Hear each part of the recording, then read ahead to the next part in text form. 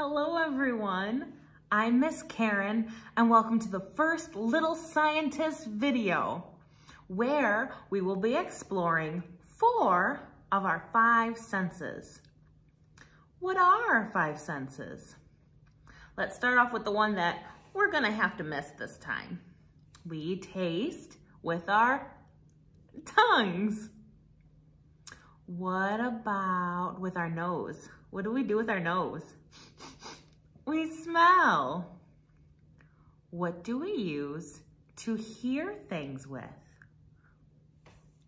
That's right, our ears. What about our eyes? What do we use our eyes for? That's right, we see with our eyes. And we mostly use our hands to touch. That's what we're gonna be exploring this month. I found this cool book called Touch by Anita Ganeri, which we will be reading just a couple of pages of to learn a little bit about our sense of touch. Touchy-feely. What happens when you stroke a cat? What does it feel like?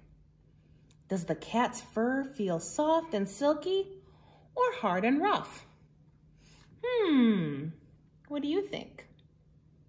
Yeah, I think kitty cats are usually pretty soft and silky. Touch is one of your senses. Your senses tell you about the world around you.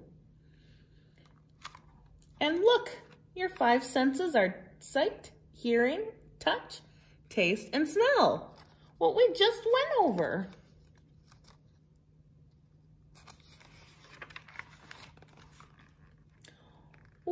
Can you touch? Your sense of touch tells you how things feel. You can feel whether things are rough or smooth. You can feel whether something is hard or soft. You can feel whether something is hot or cold. What do you feel when you go outside lately? Yeah, it's really cold. Touch messages. There are millions of tiny nerves under your skin. Each kind feels a different thing. Then the nerves and mess sends messages to your brain to tell you what you can touch and feel. Wow, that is really cool. It's your skin. It's special nerves in your skin that lets you touch and feel things. Now, let's explore with our cool experiments. We're gonna be experimenting with water beads today. Now, my adults, these are really small, okay? I have put them in a baggie for you. Now you feel free to keep them in the baggie. If you know that your little likes to grab things and put them in their mouth right away, then we should probably keep them in the baggie for this experiment. But at your discretion, you can ask, you can put some in your hand and ask them to feel it or just feel it through the baggie. What do they feel like? What do they look like? It's so itty, bitty, itty, bitty, itty, bitty. Are they hard or soft? Are they hot or cold or neither? Use those descriptive words. When you ask your little questions like, what does it feel like? They may not have the words yet, but give them a chance. Let them, let them feel, let them touch, let them talk. Then maybe you might wanna say, well, do you know what I think they feel like? Give them those words. Squishy, soft, hard, cold. Now you're gonna add water to your water beads. I'm gonna show you what I did with mine, and then I'll give you some suggestions for how you, other ways that you can add water to it and play with your water beads. I use the bag, but you can also use a see-through cup or a big bowl. and I added the water right into the bag. You also might want to check it more frequently in the first hour or so. Sometimes they get bumpy before they really turn into a ball. They got big so fast. I had to split it into two after only 30 minutes. With putting them in the bag, your littlest little might be able to understand how much they grew a little bit better. There was so much room to begin with. Every time I split the bags, I added more water.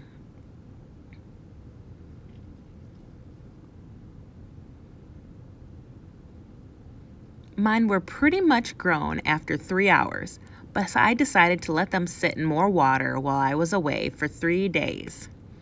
Look how much they grew.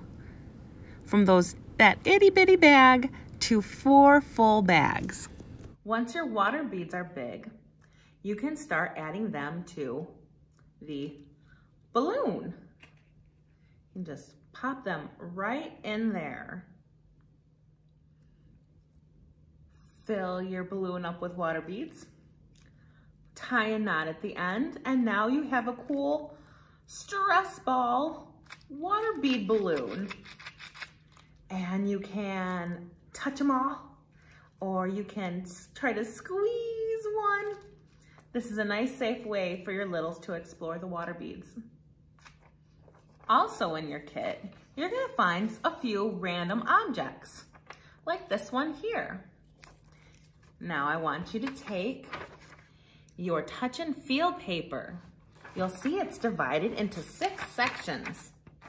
We have soft, rough, smooth, hard, fuzzy, and bumpy.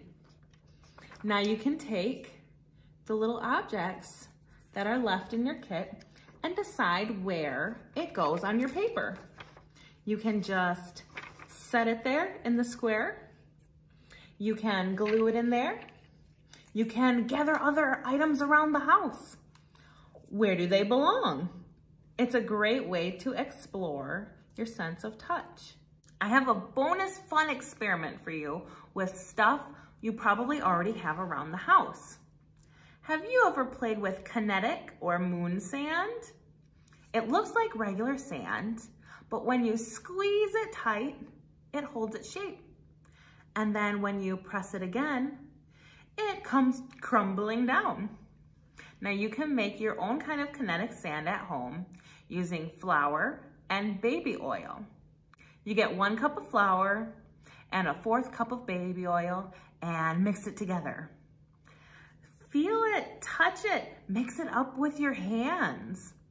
Maybe you add a little bit more flour or a little bit more oil. Maybe you try flour and water. How is that different? Other experiments you can do are things like just take a walk outside. Pick up a pine cone, pick up a rock or a stick. Maybe you find a smooth rock. Maybe you find a real rough, bumpy rock. Grab a little bucket and take it around with you throughout the yard so you have something to put it in and then dump them out and see. What about snow? Sometimes snow is light and fluffy. Sometimes it's hard like ice, but it's always cold. And remember to keep asking, what does it feel like? Thank you all for joining me today. I hope you have lots of fun exploring your sense of touch.